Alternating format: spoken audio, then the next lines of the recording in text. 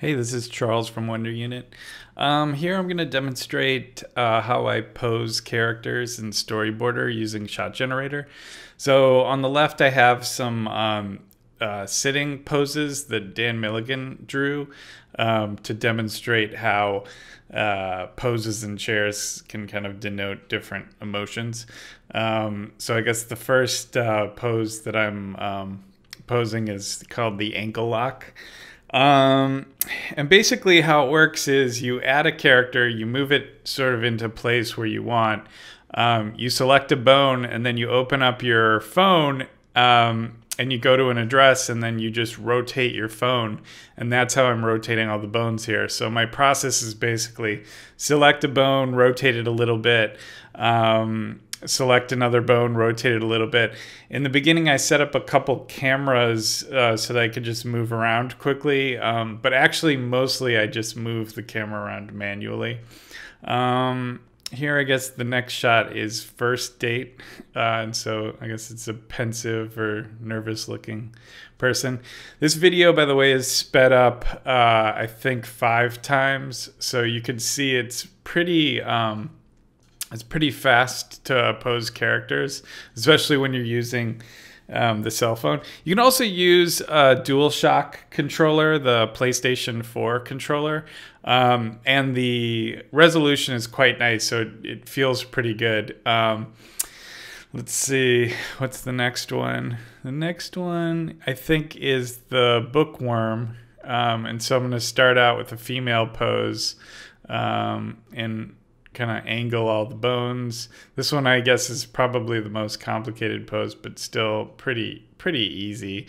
Um, that chair I modeled in Blender uh, took me like an hour to model the chair. Took me longer to uh, model the chair than to pose all of these characters that I'm posing. Um, so yeah, that's ba- basically how it works. You know, you're moving through. Um, I'm moving through these poses, trying to just um, get all of them uh, posed, and then I save them as presets uh, with names. And what's cool about that is once they're saved as presets, I can reuse them over and over and over again. Um, so in this particular case, I'm um, creating all these poses so that I can make a scene at the end with all of the um, with all the poses and so you'll you'll see. Um, there's a couple things that I don't really like about how this thing works. One is the um, the fingers. Um, I think control, controlling the hands is really annoying because if you want fine grained control, you have to, you know, zoom in and then and then um, basically rotate each digit of the fingers. I think likely in the future, what I want to do is I want to have some sort of controller for the hands that will allow you to basically say left hand should be a fist, right hand should be open, you know, spread fingers. Here here you can see me moving the fingers and it's it's a, it's not too bad, but it's just annoying, and especially if you want to do something simple, but like close clasp hands or open hands or spread fingers. Um, let's see, what do I do next? Okay, so here I'm going to create a room. I'm gonna I'm gonna duplicate a bunch of these chairs.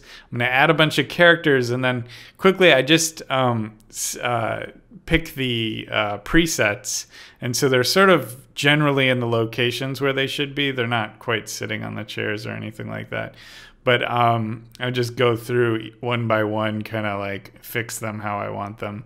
Um, let's see, delete that guy. Move, I'm going to put a light in here and then I'm going to bring down the ambient light. Um, re repose everybody. Um, kind of make a little bit of a scene here. Um, and I've been inserting some shots just so I have them. I'm going to repose. Um, now in this next segment, I'm going to um, not only pose, but I can also change the models. So you'll see me um, change the morph targets. So that guy becomes fat, muscular. Um, change that to a to a girl, um, and then make that guy fat. Um, and those are all done with morph target sliders. You can see how easy it is to do that. Um, here I'm, I'm you know I'm, you can modify any any bone position and what's cool is every shot that you insert is basically the whole world is in that shot. So you can make edits you can add objects things like that. Um, and then you can make more shots. And uh, if you want to you can go back in storyboarder and then open up any of these shots and it's kind of like a snapshot in time. You can edit anything. Um, let's see, what do I do here? I guess I'm just inserting some shots,